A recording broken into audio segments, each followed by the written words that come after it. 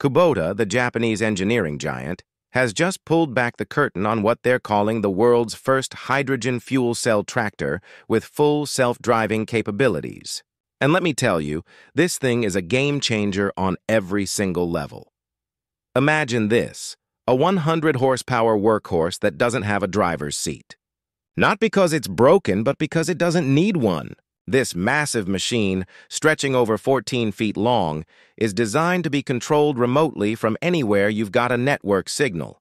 But it's not just remote control. We're talking AI-driven autonomy. This tractor uses a suite of cameras powered by artificial intelligence that can actually see the field, spotting people or obstacles and bringing itself to a complete stop to avoid any accidents. It's like giving the tractor a brain and a pair of eyes. This is Kubota's direct answer to the massive crisis facing agriculture, especially here in Japan, a shrinking, aging workforce.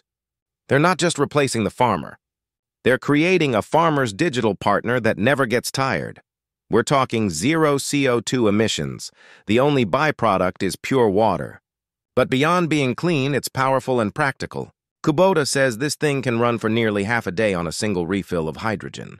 Compare that to the hours you might spend recharging a battery-powered tractor, and a refuel for this hydrogen beast takes minutes, just like gassing up a regular vehicle. They've basically taken the fuel cell technology from something like a Toyota Mirai and scaled it up to farm-grade toughness. This is a critical point because farmers need reliability and long run time. You can't have your tractor conk out in the middle of harvesting a thousand-acre field. This new model is actually the evolution of a manned hydrogen tractor they showed off last year, which was quieter and had less vibration, already a huge win for operator comfort. But this new unmanned version is the real star.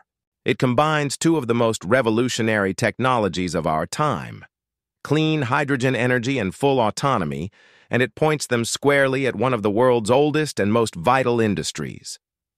Kubota's lead developer said they're moving straight to real-world testing. So we're not just looking at a flashy concept. This is a machine on the fast track to practical use. So what does this all mean? We are standing at a turning point.